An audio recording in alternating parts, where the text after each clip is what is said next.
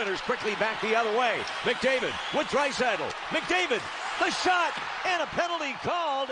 That goes way back to the crease where McDavid picks it up and off he goes. He waits for Roy to come over, and as soon as Roy's stick moves from his right to the left, opens up that seam.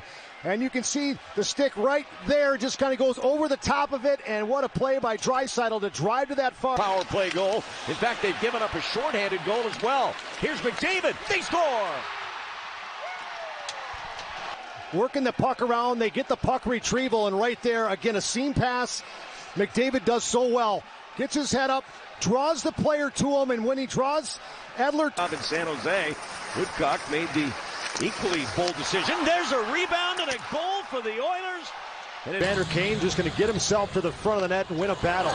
Kopitar wins this faceoff. A reverse is the turnover. Then just throwing it to the net. It misses the net.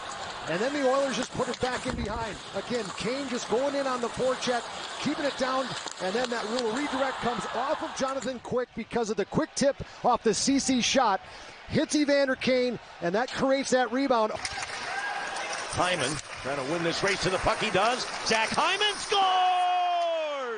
What a play by. And that turnover allows Draisaitl to chip this up the wall. And then that battle right there gets inside. Hyman does on Athanasiou. And now he's just got room to get this puck to the net and finds a hole on Jonathan Quick. And we're about to see a goaltending change. Cal Petersen is headed in front for Kane. Petersen might have gotten a piece of that. As Ceci pounds it, Petersen the save, and Kane scores on the rebound.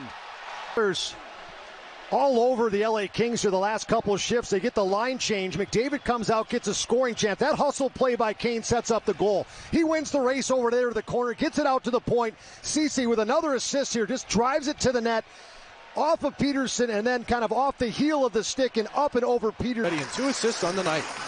Three goals in 324 for Edmonton. There's a chance for the Kings, and they get one back. Kopitar hits spots from LA here as they get in on a forecheck. Just simple play. Kopitar tried to center it, hits off Draisaitl, gets the puck back, and then he does nothing but just put his head down. Let's take it to the net. Find a way to get a place where he can get that puck up and over Smith, and he does off the bar and down. And finally, Kopitar, a guy that needed to get on the score sheet here tonight, finally does for the Kings. In this series, Sean Durzi looking to try and change that. There's Kempe. They score! Philip to the play has some success. You got to win that draw. Kopitar does just that. Pulls it back, then gets available. And then that seam pass is a beauty. Rebound kicks out. And there's Danault, the guy that's been paying the price all season long, their most consistent player, right in front as his shot comes through, and then he just does the cleanup job on the back in business. Hyman to Nugent Hopkins. Uh, knocked off balance by Danault, comes back up with it and scores. Ryan Nugent Hopkins under pressure cuts in. Hyman does there, but this effort, he comes up with it. Two players, LA Kings around him, and he comes out with the puck, drives it right to the net. As the no goes one way, Mikey Anderson goes the other.